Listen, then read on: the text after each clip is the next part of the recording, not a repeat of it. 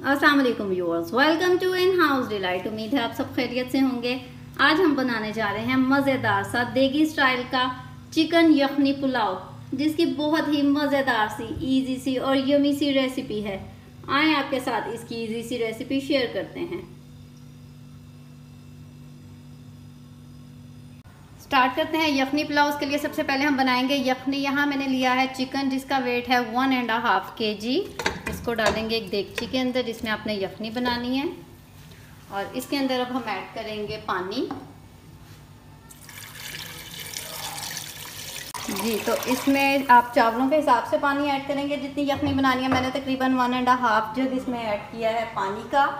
और इसके अंदर साथ हम ऐड करेंगे, यहाँ मैंने लिया है पाँच से छः जवे लहसुन के, एक टुकड़ा अदरक का और एक छोटा प्याज लिया, जिसे चार हिस्सों में कर लिया, डिवाइड, इसको ऐड कर देंगे।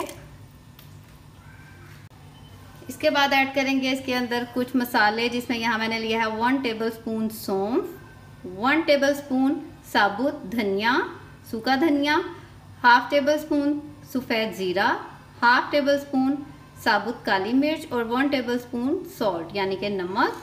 ये चीज़ें हम पुलाव के अंदर भी ऐड कर सकते हैं, लेकिन यखनी में ऐड करने का मकसद ये है ताकि पुलाव के अंदर ये चीज़ें ना आए जो मुँह में आती हैं। और इसके साथ इसके अंदर हम ऐड करेंगे कुछ खड़े मसाले, जिसमें यहाँ मैंने लिया एक कड़ी पत्ता, एक दालचीनी का टुकड़ा, एक बड़ी इलायची, तीन छोटी, यानी कि सब्ज़ी इलायची, एक बादन का फूल, चार से पाँच लौंग और थोड़ी सी जायफल और जवित्री। ये भी कुछ खड़े मसाले हैं, हम पुलाव में इसलिए नहीं ऐड कर रहे ताकि मुँह में ना आए, क्योंकि यखनी हमने स्टेन कर लेनी है, छान लेनी है, इसीलिए इन सब चीज़ों का टेस्ट जो है वो यखनी के अंदर आ जाएगा। अब हम इसको एक बॉयल आने देंगे पहले। जी तो इसको बॉयल आना स्टार्ट हो गया। अब हम कर देंगे इसका फ्लेम लो और लो फ्लेम पर हम इसको तकरीबन 25 से 30 मिनट तक पकाएँगे ताकि जो चिकन है अच्छी तरह से टेंडर हो जाए और मज़ेदार सी यखनी रेडी हो। जी व्यूअर्स आफ्टर 30 मिनट्स फ्लेम कर दिया है ऑफ़ क्योंकि चिकन हमारा बहुत अच्छी तरह से टेंडर हो गया और यखनी भी बहुत अच्छी सी रेडी हो गई है। अब इसमें से हम चिकन को लैदा कर लेंगे और यखनी को कर लेंगे स्टेन, फिर बनाते हैं मज़ेदार सा यखनी पुलाव। पुलाव बनाने के लिए एक देगची के अंदर हम लेंगे हाफ़ कप ऑयल। आप ऑयल की जगह घी का भी यूज़ कर सकते हैं। और इसके अंदर हम ऐड करेंगे प्याज। यहाँ मैंने एक प्याज लिया है, जिसको मैंने इस तरह बारीक सा काट लिया है। और इसको अब हम इसके अंदर फ्राई करेंगे। जैसे ही प्याज हल्का सा गोल्डन ब्राउन होगा इसके अंदर मैं ऐड कर दूँगी एक कड़ी पत्ता, तीन से चार लौंग और वन टीस्पून क्यूमिन यानी कि ज़ीरा। और इसको भी इनके साथ हल्का सा फ्राई करेंगे। प्याज को हमने गोल्डन ब्राउन करना है। जैसे ही प्याज गोल्डन ब्राउन सा हो जाएगा, इसके अंदर हम ऐड करेंगे तकरीबन two table spoon of water ताकि इसका मकसद ये होता है कि जो प्याज है वो इससे ज़्यादा कलर ना पकड़े। और इसके बाद उसके अंदर हम ऐड करेंगे। यहाँ मैंने लिया है टू टेबल स्पून है जिंजर गार्लिक और ग्रीन चिली का पेस्ट यानी कि लहसुन, अदरक और हरी मिर्च तीनों को अच्छी तरह से मैंने कर लिया, थोड़ा सा पानी डाल के ब्लेंड ये डाल देंगे। इससे पहले इसको हम एक मिनट तक अच्छी तरह से भूनेंगे। जी तो एक मिनट तक इसको फ्राई करने के बाद इसके अंदर हम ऐड कर देंगे एक कप दही योगर्ट इसमें हम टमाटर का यूज़ नहीं करेंगे, बल्कि इसमें सिर्फ़ दही डालेंगे। तरह से, और साथ ही ऐड करेंगे थोड़े से मसाले। वन टेबल स्पून ऐड करूँगी red chilli powder one teaspoon black pepper काली मिर्च का पाउडर और वन टेबल स्पून इसके अंदर मैं ऐड करूँगी सॉल्ट क्योंकि जो सॉल्ट है वो हमने यखनी के अंदर भी ऐड किया था और इसीलिए बाकी का जो है वो हम लास्ट में एडजस्ट कर लेंगे, अगर कम हुआ तो। और अब हम इसकी मसाले की करेंगे अच्छी तरह से भुनाई। जी तो यहाँ हमने दो से तीन मिनट अच्छी तरह से मसाले की भुनाई की। अब इसमें ऐड करूँगी, यहाँ मैंने लिया चार हरी मिर्चें, इनको मैंने इस तरह से कट लगा ली है। इसको ऐड करेंगे। और इसके साथ ऐड करेंगे इसके अंदर चिकन जिसको हमने यखनी में बॉईल किया अच्छी तरह से टेंडर हो गया हुआ है और इसको हमने यखनी में से अलग कर लिया है और यखनी भी स्टेन कर ली है। अब चिकन को हम इसके अंदर डाल के इसकी हम एक से दो मिनट अच्छी तरह से करेंगे भुनाई।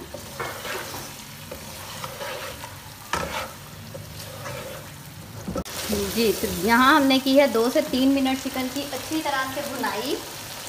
क्योंकि चिकन हमारा पहले भी पहले ही टेंडर हो गया हुआ था। जस्ट हमने इसको मसाले में अच्छी तरह से भूनना था। और भुनाई करने के बाद इसके अंदर अब हम ऐड कर देंगे यखनी जो हमने स्टेन की है। दो ग्लास चावलों के हिसाब से यहाँ मैं ऐड करूँगी तीन ग्लास यखनी के। और उसके साथ इसके अंदर हम ऐड कर देंगे चावल। यहाँ मैंने लिए दो ग्लास चावल जिन, जिनको मैंने अच्छी तरह से धोकर आधा घंटा पहले ही डिप कर दिया हुआ था और अब मैंने इसका पानी कर दिया स्टेन इनको ऐड कर दूँगी इसके अंदर। जी तो चावल डालने के बाद इसको हम एक बार करेंगे मिक्स और अब हम इसका पानी ड्राई होने तक इसको पकाएँगे। जैसे ही पानी ड्राई होगा तो फिर हम इसको लगाएँगे दम पे। यखनी, चावलों के हिसाब से आप ऐड करेंगे। मैंने दो ग्लास चावल लिए और उसके साथ मैयर करके मैंने तीन ग्लास यखनी के ऐड किए हैं। आप भी जितने चावल होंगे उस हिसाब से यखनी लेंगे। अगर ज़्यादा डालेंगे तो आपके चावल जो हैं वो नरम हो जाएँगे। और अब हम इसका पानी करते हैं ड्राई। जी तो पानी माशाल्लाह ड्राई हो गया। बहुत कम इसके अंदर पानी रह गए आप देख सकते हैं। इस स्टेज पर हम इसको लगा देंगे दम, लो फ्लेम पर। सबसे पहले आप इसके नीचे रखेंगे कोई भी तवा या कोई भी सिमर रिंग जिसके ऊपर आपने दम लगाना है। और जो इसका ढक्कन होगा, उसको रुमाल रुमाल से आप कवर कर देंगे। और सबसे पहले एक मिनट के लिए हम हाई फ्लेम पर रखेंगे ताकि जो इसके नीचे हमने तवा रखा है वो गर्म हो जाए। और उसके बाद हम लो फ्लेम करके इसको लगाएँगे तकरीबन 15 से 20 मिनट का दम। जी तो 20 मिनट के दम के बाद जो यखनी पुलाव है, माशाल्लाह बहुत अच्छी तरह से रेडी हो गया ये आप देख सकते हैं कितने खिले खिले से बने हैं चावल। अब हम करते हैं फ्लेम ऑफ़ और इसे करते हैं डिश आउट जी तो चिकन यखनी पुलाव बिल्कुल रेडी है। बहुत ही मज़ेदार सा स्पाइसी सा बना है। ज़रूर ट्राई कीजिएगा। इन आपको बहुत मज़ा आएगा। इसके इससे पहले भी मैं आपके साथ पुलाव की एक और भी मज़ेदार सी रेसिपी शेयर कर चुकी हूँ और ये भी रेसिपी बहुत ही मज़ेदार सी है। ट्राई कीजिएगा और फीडबैक देना मत भूलिएगा। अगर आपको ये रेसिपी अच्छी लगी होगी तो मेरे चैनल को लाइक कर दें सब्सक्राइब कर दें। बेल आइकन का बटन ज़रूर प्रेस करें ताकि आइंदा आने वाली इसी तरह की नई वीडियोस की नोटिफिकेशंस आपको टाइम पर मिलती रहें। दुआओं में याद रखें। मिलते हैं बहुत जल्द। एक बहुत ही अच्छी नई मज़ेदार, ज़बरदस्त और यमी सी रेसिपी के साथ। इजाज़त दीजिए। अल्लाह हाफिज़।